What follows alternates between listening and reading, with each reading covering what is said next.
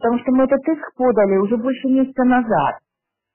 Поэтому для меня очень странно, почему такой информационный обвал сегодня именно происходит. А, поэтому, ну что, прокомментировать по этому поводу? А как вы думаете, что а, мне запретили коренной киевлянке въезжать э, на историческую родину? Я должна была как? Это воспринять с радостью и прилагать никаких усилий, чтобы это опровергнуть? Тем более это было сделано неправомерно. Информационная служба в Киеве выставила эту новость, при том, что моим адвокатам они сказали, вы приезжайте немедленно за информацией по поводу этого разбирательства.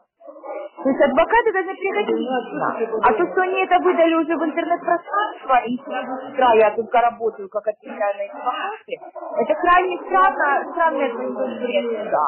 Я еще не знаю, нет, я еще понятия не имею. Вот сейчас у меня адвокаты сегодня выясняют вообще в суде, когда, чего, чего. И дальше мы будем принимать решения и понимать, э, какие действия у нас будут дальше. Сейчас ничего сказать не могу по этому поводу.